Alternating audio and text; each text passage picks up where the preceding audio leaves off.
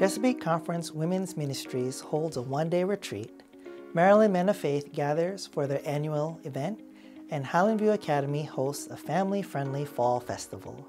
This is Chesapeake Currents TV, and here are three things to know this week. First up, over 100 women gather at the Park Church in Salisbury, Maryland on October 20th for the Chesapeake Conference's Women's Ministry Retreat.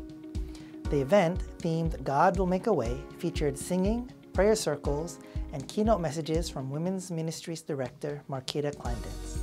Attendees also heard a special health presentation by Dr. Diana Casablanco, encouraging them to seek wholeness in Christ. Next, over 120 men gathered at the Mount Aetna Retreat Center on October 5th for the Maryland Men of Faith and annual retreat. This year's theme, Bold into the Throne, was emphasized through a keynote message from Jonathan Walter, assistant editor for the Adventist Review. Attendees also participated in seminars on topics such as prayer life, relationships, missions, and mental health. One of the most impactful moments occurred during a special lunchtime prayer session where men prayed for specific needs and deliverance from sin. And finally, Highland View Academy welcomed nearly 350 people to its annual Fall Festival on October 13th. The family-friendly event featured activities like hay rides, a bounce house, a car smash, and a dunk tank.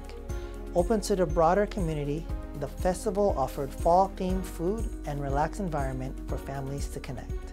For more information on these stories, visit our website, ccosda.org. Thanks for watching. Please join us again next week.